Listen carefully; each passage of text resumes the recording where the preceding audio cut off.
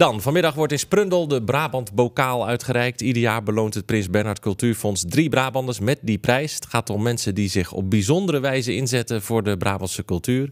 Vanochtend komen alle winnaars voorbij in onze uitzending. Als eerste Anna uit Den Haag, eh, de directeur van de Koningstheateracademie in Den Bosch. Zij heeft ervoor gezorgd dat deze academie een erkende HBO-opleiding werd. Eerste opleiding voor cabaretiers in Nederland op dat niveau. Anna, goedemorgen.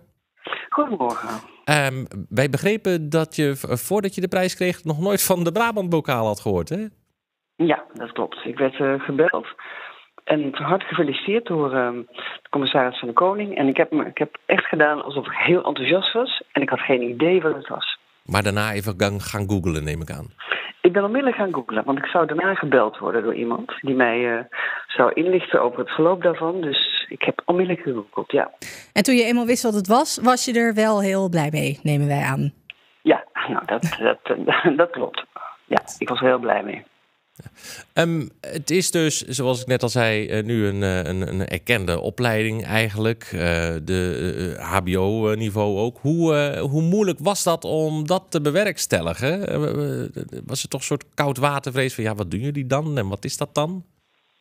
Nee, een, om een opleiding te laten accrediteren is het nodig om hem helemaal te beschrijven.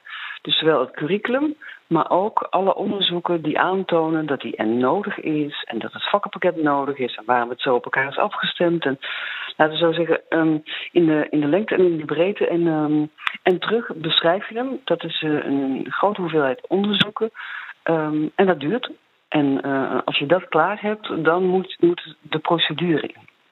Dus dan moet uh, het ministerie van Onderwijs en Wetenschap ook nog inzien of, of instemmen met het plan. En dan duurt het nog weer heel lang voordat een opleiding gevisiteerd wordt. Dus dan komt er een panel en dat gaat kijken of het, zoals het beschreven is, uh, ook daadwerkelijk aan de hand is en of dat nuttig is en stelt vragen. En nou ja, dat, dat uh, is een vrij ingrijpende operatie. En eentje van de lange adem.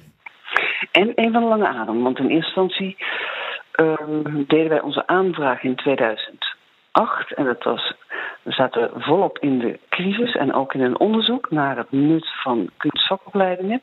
Dus uh, het was nog niet zo makkelijk om daartussen te komen. En dat heeft tot 2012 geduurd. Zo, ja. Maar goed, ja. niet voor niets kunnen we aan alle kanten stellen natuurlijk. Um, ja. En nu uiteindelijk ook bekroond met een prijs. Uh, nou treedt u toe tot een uh, bijzonder genootschap. Bent u daarover ingelicht?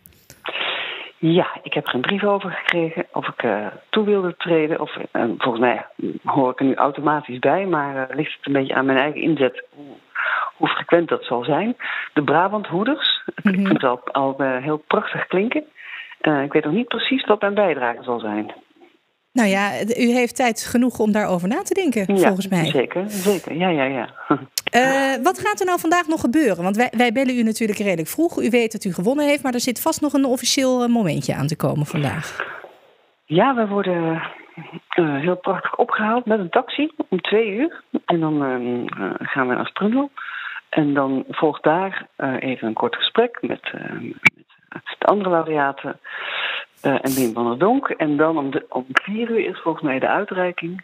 Van vier tot vijf. En dan het is een hele feestelijke uitreiking met een filmportret van de drie laureaten. En met muziek en dans. En met een uitreiking van een bokaal. En aansluitend een, een gezellig samen zijn.